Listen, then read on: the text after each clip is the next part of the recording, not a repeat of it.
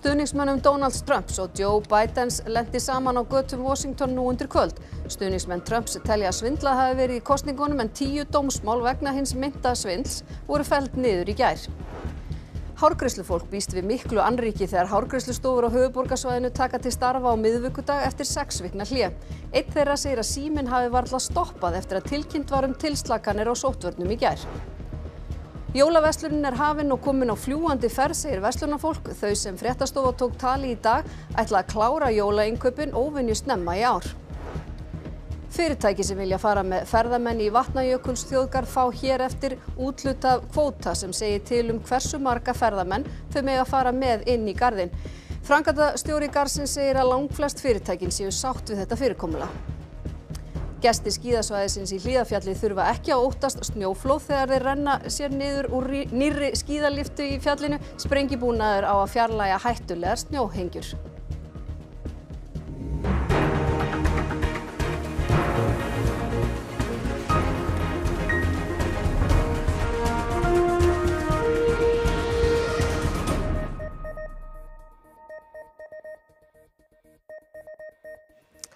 Gott kvöld. Að minnstakosti tíu mál sem kostningateimi Donalds Trumps hefur höfðað vegna framkvæmdar fórsetakostningana í bandaríkjónum urðað engu í gær. Til átaka kom milli stuðningsmanna Trumps og Joe Bidens í Washington nú síðdeis og standa mótmælin beggja enn yfir. Stuðningsmenn Trumps komu saman við frelsistorgi í Washington í dag til að krefjast þess að komi verði í veg fyrir það sem þeir kalla þjófnað kostningana. Það byggir á fullyrðingum Trumps og starfsliðs hans um að ránt hafi verið haft við sem engar sannanir eru fyrir. Trump og sjálfur fram hjá stuðningsmönnum sínum við mikinn fögnuð. Stuðningsmenn Bidens hafa líka sapnast saman og hefur aðeins skorist í åtta milli hópana.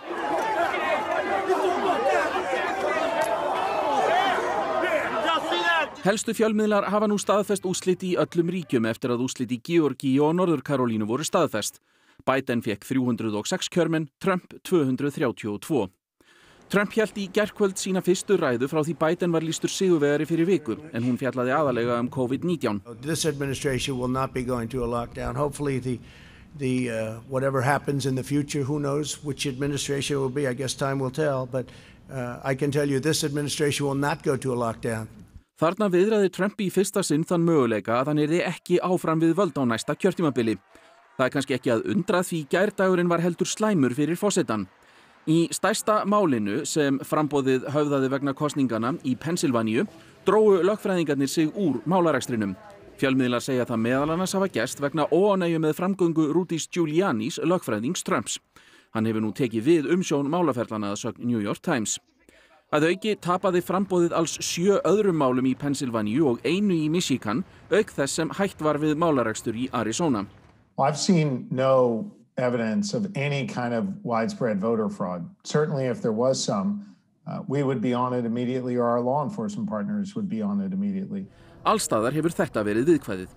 Enn er þó stemt að því að höfða mál til að koma í veg fyrir að Sigur Bidens í Pennsylvaníu, Michigan og Wisconsin verði formlega staðfestur. Fréttaskýrendur telja hins vegar afar ólíklegt að það hafi nokkuð að segja um endanleg úslitt. 17 ný innanlandsmitt koronavirunar greindust í gær, 12 voru í sótkví og því 5 ekki í sótkví við greiningu. Eitt smitt greindist á landamærunum. Tölvert fækkar í einangrun melli daga en nú eru 394 í einangrun og 657 í sótkví. 62 er á sjúkrási þar af 3 á gjörgjæslu. Hárgræslumæður í Kópói segir að síminn hafi varlað stoppað síðan tilkynnt var um tilslakanir á sótvarnaráðstöðunum í gær. Hann segir að það verði áskorun að ná að klippa alla viðskiptavinni fyrir jólinn. Hárgræslu stofur fá að opna á nýjó miðugudag eftir sex vikna hlið sangvand breytingum á sótvarnaraðgjörðum sem kynntar voru í gær. Áfram eru þó í gildi tíumanna fjöldatakmarkanir og þá þurfa allir að vera með grímu. Böðvar Þór Eggertsson eða Bötti Klipp eins og hann er kallaður segir að viðskiptavinir hafi verið fljótir að hafa samband í gær til að panta tíma. Bara strax og þessi frétt kom á förstudagina þá, þá var ég að spója að henda símanum bara til sjó sko því það bæði, það reyndin skilabóðum símtölum og ég, ég er ekki eins og búin að fara í gegnum messenger hjá mér því það er, það er bara óopnið skilabóð lengst niður, bara nokkri metrar sko. Þannig að já, það, er, það, er, það hefst núna hægraðing. Bötti deilir stofu með átta öðrum hásnirtum og því get ekki allir sint viðskiptavinum á sama tíma. Við erum að undirbú okkur og bóka okkur þannig að það sé bara eitt kunni inn í einu af því að við ætlum að hlýta þessum reglum frá aðtilöðu. Hann segir viðbúið að unni verði frá morgni til kvöld svo hægt verða að sinna sem flestum en hins vegar sé ekki örugt að allir sem vilja komist í klippingu fyrir jól. Ég held að þeir sem er ekki búin að planta eða undirbúa sig á einhvern hátt tryggja sig, já, ég gæti alveg trúa því að það verði ekki auðvelt. Slakað verður á fjöldatakmörkunum í framhaldsskólum á miðugudag svo nemyndur geti auknumæli farið að stunda staðnám. Kensla hefur að mestu leiti farið fram með rafrænum hætti eftir að aðgerði voru hertar í haust og hafa sumir skólar þegar ákveðið að halda áfram með það fyrirkomulag þann stutta tíma sem er eftir af þessari önn. Kolbeitt Freyr Björnsson og Viktor Ingi Birgisson eru nefendur í kvennarskólum í Reykjavík Þeir segja betra að klára þessa önn í fjarnámi og býða með breytingar þanga til faraldurinn séða mestu gengi niður. Sumir nefendur eigi nána ættingja í áhættuhópi og aðrir vilji síður lenda í veikindum svona stuttu fyrir jól. Það eru mjög margir nefendur sem hafa ágjör á því að fara í sótkví eða einagrun bara stutt í jólinn og það er bara líka, langt flesti vilja bara klára þetta í fjarnámi en eins og þetta er skil, þú við Já, mjög margir ósáttir með að fara í skólan, skilju margir nefndur eins og fara staðnám vilja frekar klára bara fjárnám heldur hann sé að vera eitthvað ídæm í staðnám Óvíst er hvernig hátíðahöldum í Reykjavík verður háttað fyrsta sunnudagi aðvendu 29. november. Nýju sótvarnarreglunar gilda til 1. desember. Borgarstjóri Reykjavíkur helt þó upp í heiðmörku í morgun og feldi 60 ára gamalt sitka grenitri sem komi verið fyrir á Östurvelli samkvæmt hefð. Borgin ætlar að reyna að fagna aðvenduháttíðin með pompi og prakt en þó í fullu samræmi við sóttvarnareglunar. Jólatré borgarbúa verður því prýtt meira skrauti og ljósum en venjar til til að gleðja augu borgarbúa í faraldrinu. Við erum að tala um 12 og 40. 12 og 40? Það er glæsilegt. Faraldurinn er enn í vexti í Evrópu og hafa mörg ríki gripið til hertra takmarkana. Við heyrðum í nokkrum af þeim fjölda Íslendinga sem eru búsettir víða í álfunni. Hér eru strángari reglur heldur en hafa verið áður og er til að mynda skólanum lokað og því fyrir öll kennsla fram á netinu. Þá mega bara fjórir koma saman og þá með grímu og með fjarlægð og það er grímuskylda hér. Ég tók bara grímuna rétt af fyrir þetta myndband þá má maður vera í samskiptum við einn aðila nálægt og það er kallaður svona knúsfélagi og síðan er í rauninni allt lokað hérna nema maturubúðir og apotek. Við vorum bæði að vinna heima, brúsur var í skóla og ég í leikskóla og um, brús var nefnilega í eldursnu og ég inn í stofu sem gæti verið flókið þegar að hann var með fund og ég voru að syngja Baby Shark inn í stofu. Um, þurfti svona aðeins að púsla því Um, en við erum núna bæði komin aftur í vinnuna. Yeah, so we've been back at work for a few months now. Um, in the school, it's been quite challenging with lots of uh, hand washing and uh, making sure the children are wearing their masks. Uh, but it's been successful and we're very pleased how things have went. And we get a discount at the supermarket, all the teachers, so that's great. Nú með tíu manns komum saman og það er líka verið að reyna að hvetja fólk til þess að umganga sama fólkið og umgangast ekki og marga. Það er líka búið að herða grímuskyldu núna um, þannig að það þarf ekki bara að vera með grímu þegar maður er í almenningssamkökum. Fólk er hvart til þess að vera heima, halda sig heima, uh, eiga ekki samneiti við fólk sem býr ekki undir sama þakki. Já. Og, og ekki ferðast í almenningssamkökum og... Ekki fara í vinnuna að vinna heima. Uh, hér er samt engin bönn, það er ekki ferðabann, landin er ekki lokað. Uh, og maður segja að ábyrðinu sé svolítið sett á einstaklingin. Það er semst búið að loka öllum börum og veitingustöðum og kaffhúsum fyrir allt nema semst take-away en skólar eru ennþá opnir en fólk er beðið um að vera heima og vinna heima það getur. Fara bara út ef nöðsinn krefur. Já, en það eru yngar takmarkarnir eins og í vor á hversu oft maður má fara út í göngutúra eða hreyfa sig. Jóel er á mentaskóla aldrei og Rósa er 13 ára og þau fara í skólan á hverjum degi og það eru náttúrulega aðra reglur en var, það er grímuskylda, e, allstar nema í kjænslustofinni, þar er það val. Og ég verð að segja það eins mikið og ég myndi vilja hafa þið bæði heima allan daginn í bómull, þá er ég mjög fegin að sé að fara í skólan og hitta sína jafnaldra og bara upp á þeirra geðheilsu og, og þroska. Við erum að vera ansiði þreytt af þessu. Og ofin í allt þetta þá náttúrulega fáum við þessa hryllilega, hryll, þessa fréttir, íslenskan alveg farin, um, þessar ræðilega fréttir núna reglulega varðandi eitthvað svona terrorist attacks og ég held að við höfum meira áhyggjur af þessu ástandi í Fraklandi núna heldur en COVID.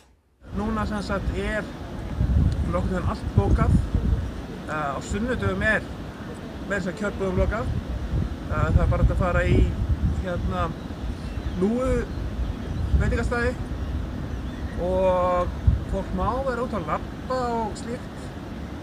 En klukka nýju að kvöldi og nú við nálgast nýju þegar þetta tekið upp að þá hérna þá er ungubann þannig að við þurfum bara að skjóta þetta vídeo og hlaupa svo heim. Ótti við kórunverusmitt og áhyggjur af heilsufarslegum og efnahagslegum áhrifum COVID-19 minka samkvæmt nýjum þjóðarpúlsi Gallups. Þeim fækkar sem finna fyrir kvíða vegna veirunar en fjölgar sem forðast handabönd. Rúmlega 36% þjóðurinnar óttast nú að smitast af COVID-19, samanborið við 44% í síðustu viku.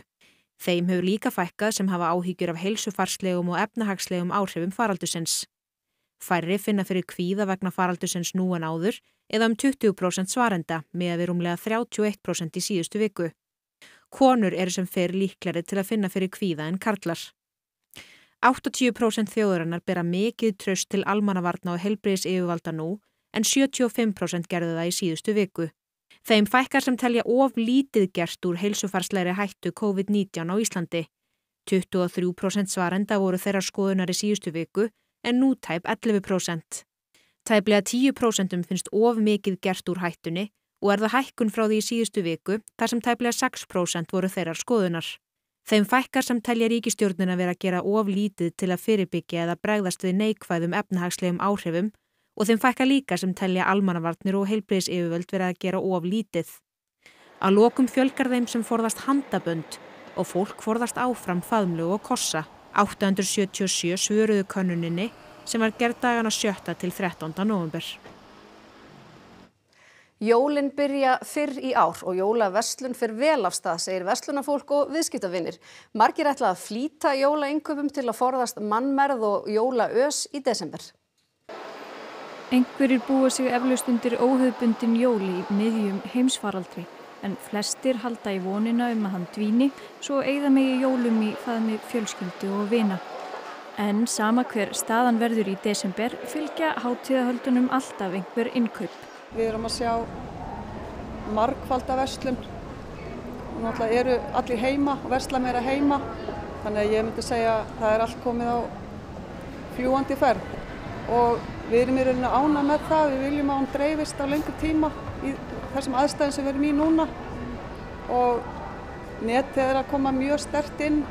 Við finnum það.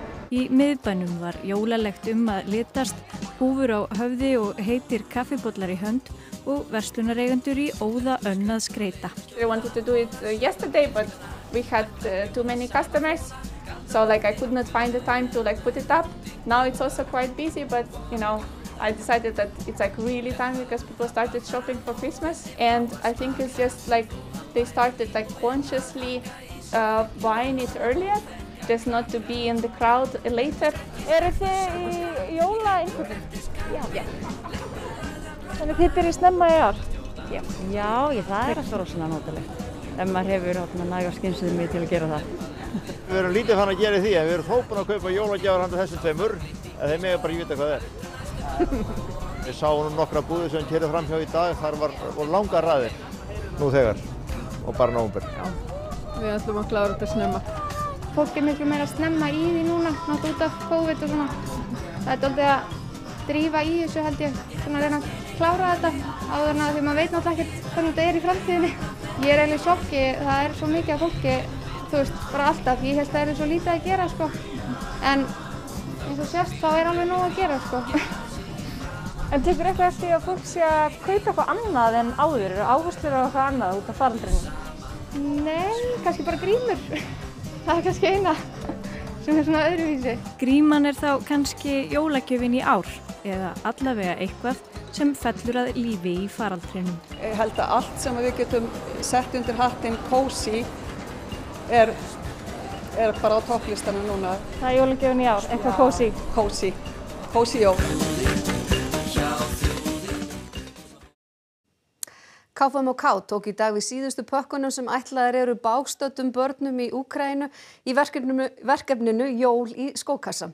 Vonast er til að hægt verða að senda um 4.000 gjafir til Úkrænu. Það hefur verið fastur liður hjá mörgum stórfjölskyldum og vinnustöðum að hittast og undirbúa gjafir síðustu ár en samkomutakmarkaninnar koma nú í vekk fyrir það hjá mörgum. Þrátt fyrir það segja sjálfbúðaliðir að verkefnið hafi gengið vonum framar við breyttar aðstæður. Við vorum svona pínur hætt fyrir að út af COVID, hvort að fólk væri hrætt að koma og við að endurskipilegja allt hjá okkur en það hefur bara gengið vonum framar. Við sendum þetta til Úkrænu og erum með tengilið þar sem að taka og dreifa til barna í neyð sem þurfa. Er þetta svona orðin fastur liður í jólaundirbúningi hjá ykkur? Já, það held ég. Það er mjög margir sem að bara byrja undirbúningin á þessu. Ferðamannakvóti verður hér eftir settur á fyrirtæki sem vilja fara með ferðamenn í Vatnajökulsþjóðgarð. Þetta er gert til að auka öryggi og minka álag. Vatnajökuls þjóðgarður er stór þjóðgarður sem næri verið allan Vatnajökul og nágrinni hans. Á síðustu árum hefur mikill fjöldi ferðamanna heims og þjóðgarðin enda fjölmarkar náttúruperlur innan hans. Mörg fyrirtæki fara með ferðamennum svæðið og hafa hingað tilmátt fara með nokkur neginn einsmarka ferðamenn og þau hafa getað. Nú hefur þjóðgarurinn hins vegar hafið vinnu við gerð samninga við fyrirtækin og útluta þeim eins konar kvóta sem þýðir að þau mega aðeins fara með ákveði marga ferðamenn á ákveðna stað í garðinum á hverjum degi. Þetta er gert til að draga úr álægi, tryggja öryggi ferðamanna og til að þeir geti notið ferðarinnar betur. Til dæmis núna á söður svæði vatningustjókast þá að þá auglistu við eftir þeim sem vildu stunda íshellaferðir og jöklagöngur og í bóði voru 3300 ferðamenn á dag og, og, og það voru svona mörkin sem að, sem að voru talin henda fyrir það svæði til þess að skerða ekki upplifun ferðamann og til að tryggja öryggi þeirra. Og sóttu mörg fyrirtækjum? Það eru 27 fyrirtæki sem sóttu um og það fengu allir útlutað en auðvitað ekki allt sem þau vildu. Magnús segir að þau fyrirtæki sem báðum fáa ferðamenn hafi fengið nánast allt sem þau sóttu um en svo hafi skerðingin orðið meiri eftir því sem fyrirtækin óskuð eftir fleiri ferðamennum. Flest fyrirtækin sé á svæðinu en fyrirtæki frá öðrum svæðum eigi jafn mikla möguleika á að fá útlutað en það sé óheimilt að mismuna þeim eftir heimilisfesti. Þá segir Magnús að hort sé til reynslu fyrirtækjana í ferlinu en það sé meðal annars gerð krafa um mentun og ákveðna reynslu leiðsögumanna. Eru fyrirtækin sátt við þetta fyrirkomulag? Langt flestur eru sátt, það eru örfá sem að kannski vilja, hefðu vilja fá meira og telja að við kannski hefum getað nota aðra reglu við að útluta en langt flestir eru sáttur og við þegar byrjuð að tala við fyrirtækinu um hvernig við getum lagfært ferli fyrir næstu umsókn. Samningarnir voru gerði til eins árs til að byrja með en verða líklega til lengri tíma í framtíðinni. Hvert fyrirtæki greiðir garðurum 50.000 krónur fyrir samningin. Í framtíðin er hugsanlegt að fyrirtækinu verði gert að greiða gjald fyrir hvert ferðamann en Magnús segir að ákveðið hafi verið að gera það ekki núna vegna faraldusins. Sprengibúnaður sem framkallað getur snjóflóð var settur upp í hlýðarfjalli í vikunni við afar krefjandi aðstæður. Með nýja búnaðinum geta starfsmenn sprengt niður snjóhengjur áður en þær verða hættulegar gestum. Uppsetningu á nýri stólaliftu í hlýðarfjalli er lokið og verður hún opnuð almenningi í byrjun næsta árs. Von er á austurískum sérfræðingum til að gera loka úttekt á liftunni og þá á eftir að setja upp lýsingu. Liftan verður svo hæsta á Íslandi en það tekur um 8 mínútur að fara með henni upp á svo kallaða fjallkonuhæð. Með tilkomi nýju liftuna verður fólk flutti yfir 1000 metra hæð og á þekkt snjóflóðasvæði og við því ætla menna bregðast. Við erum í samstarfi við veðustofuna með snjóflóði eftirlit, daglegt snjóflóði eftirlit í fjallinu sem við byrtum svo notöndum okkar, okkar niðurstöður úr því og ef við teljum ástæði til þess að bregðast við með einhverjum hætti þá getum við gert það annarkvátt með snjótrúðum eða með því að nota sprengiefni til að koma af stað snjóflóðum áður en þau verða hættuleg. Þetta er svona mastur og ofan á því er kassi með tíu sprengjum sem við getum þá sprengt neðan úr húsi hjá okkur í gegnum, gegnum tölvi. En það er meira en að segja það að steipa fyrir stóru mastri yfir þúsund metra hæð. Þetta var alltaf bara sko, við erum hérna í 1100 metra hæð og það þurfti að koma hérna náttúrulega bæði tækjum og mönnum upp. Uh, þú veist í snarbröttu fjalllendi, það þarf að síga hérna niður að staðnum og, og láta steipuna svo gossa í rörum og eftir. Þetta er bara gaman. Þetta er ekki fyrir hvern sem er? Nei, þetta er svona svolítið fyrir strákinn í manni bara. Þrátt fyrir faraldurinn er Stefán Bjartsýn á framhaldið. Við ætlum að opna 17. desember, ekki setna, fyrir hægt er en, en ekki setna þá. Þú Bjartsýn á það gangið? Já, já, alltaf Bjartsýn. Þú sé kallt hérna núna, heldur þetta verði heitasti staðurinn í vitur? Algjörlega. Ég vona því að hér verði bara fullt út út dyrum alla daga. Gurbanguly Berdi Muhammedov, fórseti Turkmenistans afhjúpaði á dögunum gullstittu af frægasta hundakinni landsins.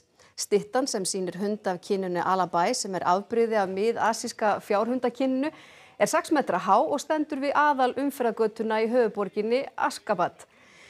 Ríkisjónar Turkmenistan segir að stittan endurspegli virðingu og sjálfströst tegundarinnar. Fórsetin hefur áður heiðrað þessa hundategund, hann gaf út sérstaka bók um hana á síðasta ári. Afhjúpun stittunar var fagnað með söng og dansi og að sjálfsögðu var kvolpur af umrættri tegund viðstættur.